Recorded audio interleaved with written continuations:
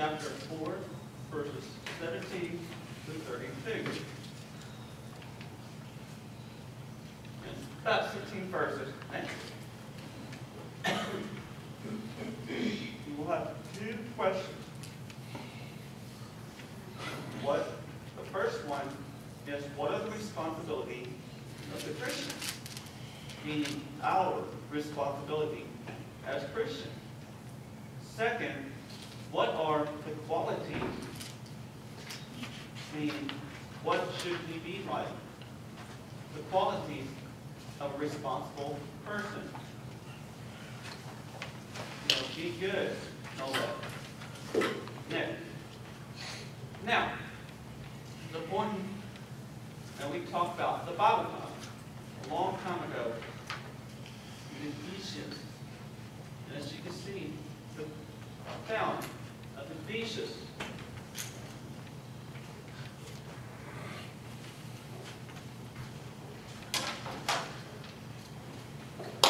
Next.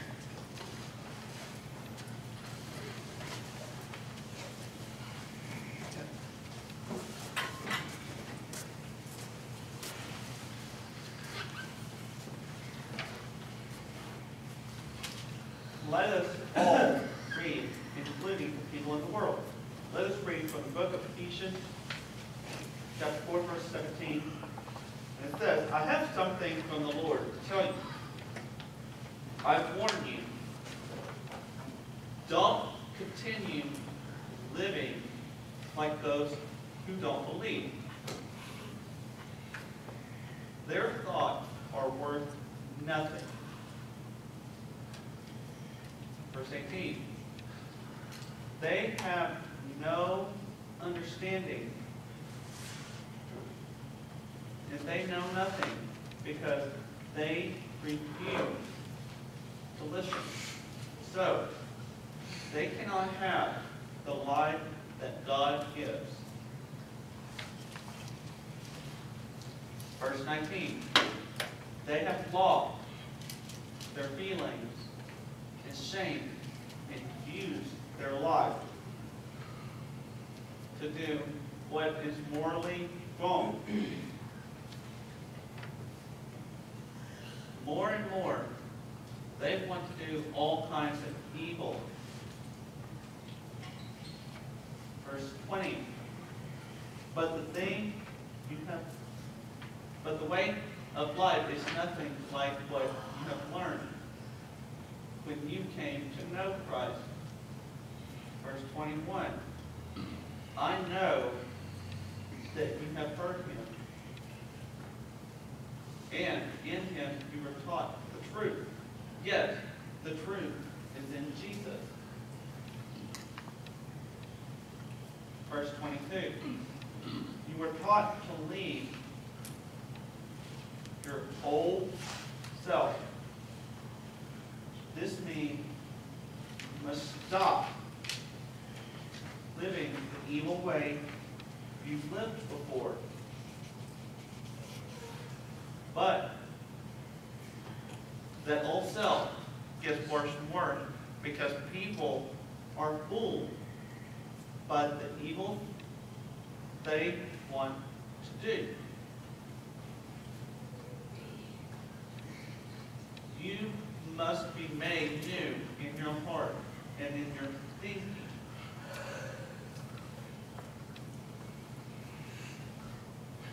Be that new person who was made be like God. Truly good. Amazing else. So, you must stop telling lies. You must always speak the truth to each other. Because we all belong to each other in the same body. When you become angry, don't let that anger make you sin. And don't stay angry all day. Verse 27. Don't give the devil a way to defeat you. 28. Whoever has been stealing must stop it and start working.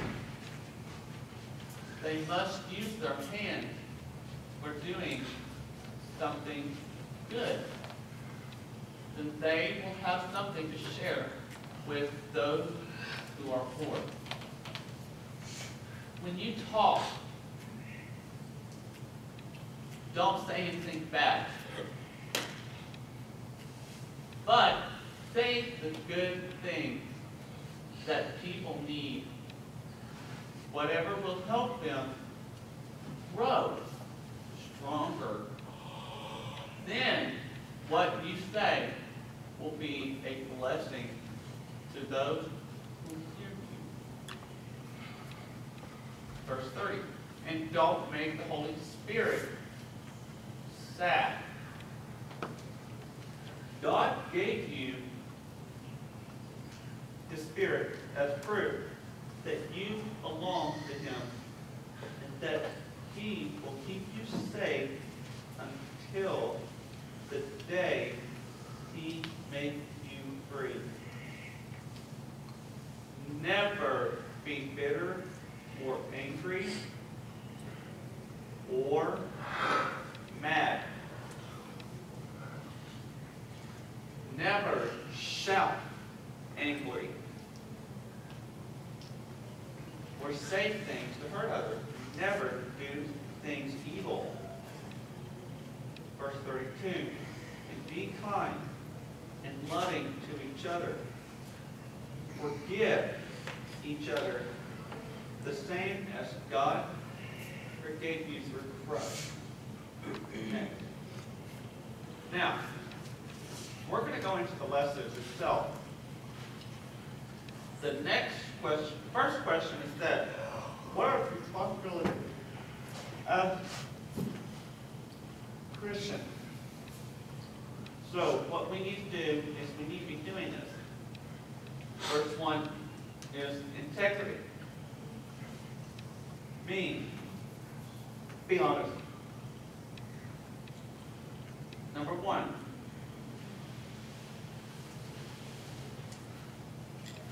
says the quality of being honest and having high moral principle. The next one, number two, the condition of being free from, damages or defect, total honesty and sincerity. Now, the word itself is from the book of Psalm, chapter 25, verse 21. You are good and do what is right. I trust you to protect me. Another verse in Luke chapter 16, verses 10 and 11. Whoever is dishonest in little things will be dishonest in big things too. Verse 11 says, It cannot be trusted with worldly riches. You will not be trusted with true riches.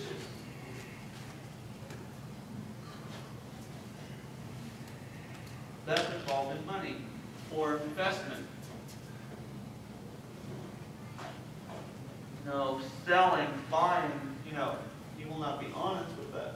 Next. Obedience. We need to be in acting of obeying or willing to obey God and His Word. We should be reading and studying and going to church. That's obeying, an act of obeying and being willing to obey. We follow Christian every day. Not only Sunday, but when we feel like, no, we need to practice using this, be obeying, and do the right thing every day. God knows that we are not perfect, but it doesn't matter. We make an effort of our everyday life to be better. And you would have to become like military, military people.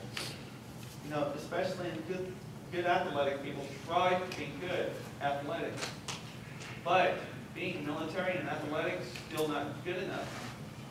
Number one, we need to be Christian. We need to follow God. We need to know that He's number one. So don't put God number one. Or don't put yourself at number one, but put God as number one. Uh,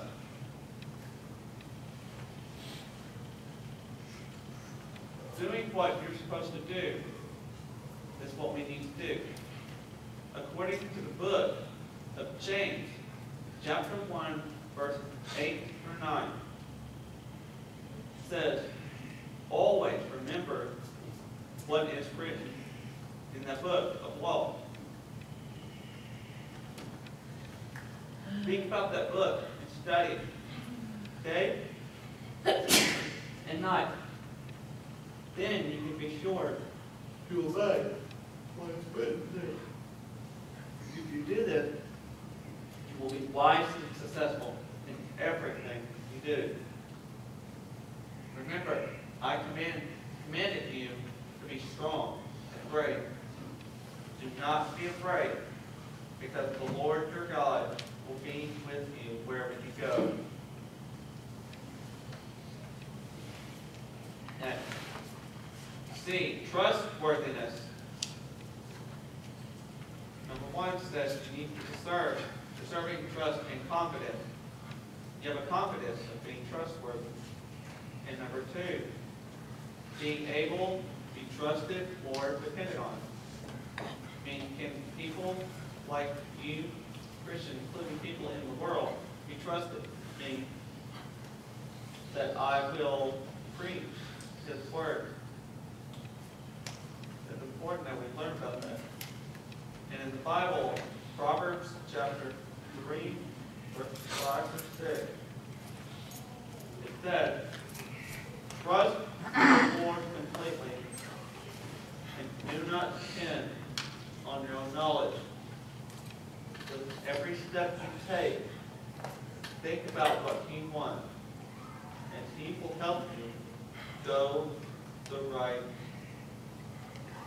will help you go the right way.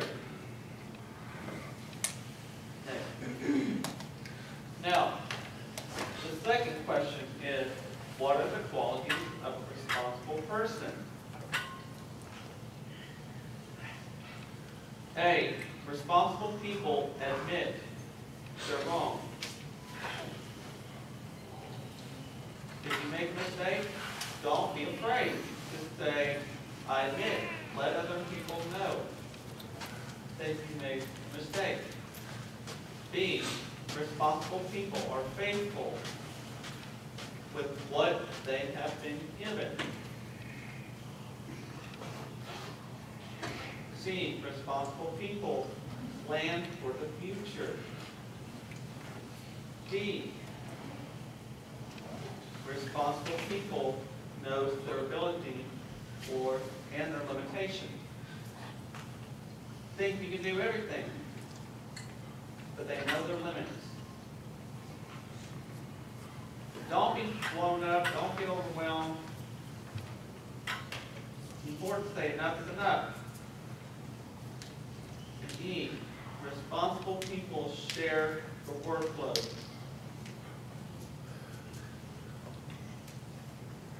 Ministers or pastors should not try or be expected to try do, to do everything. Instead, the work of the church should be spread out among its members. And they can help with each other, cooperate with each other. It's important next. And an inclusion. Now, we need to remember about what the world did before they became faithful in Jesus Christ and are repentant. Once, you know, there's a positive, there's a negative side to someone before it says, once unclean. They were once dead to God. They were once guilty. And then they were once unrighteous, and finally, one enslaved to Satan. But now, on the positive side, after you repent and be baptized into Jesus Christ, you will be now cleansed. You will be now alive to God. You will be now uh, forgiven. You will be now justified. And then you will be now free from sin. Understanding on the right side are the positive side, and I hope it belongs to the people that everyone here today has already became a Christian and taken the Lord's Supper and taken the bread to represent Jesus' body and also taken the fruit of the vine that represent Jesus' blood. And Jesus' blood is what we drink it because he has washed away of our sin.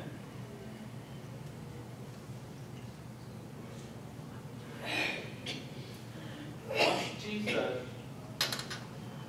died on the cross, finished, our sin is forgiven. We all. All sinners that we have so far, you know, all sins that we have before, one minute ago, two minutes ago, a week ago, one month ago, one year ago, many years ago, all are forgiven, forgiven and forgotten. They're let go. Because you don't save it in your mind or in your heart. But if you hold on to your sin, that means you haven't yet been forgiven yourself or forgiven others. And God will not forgive. Very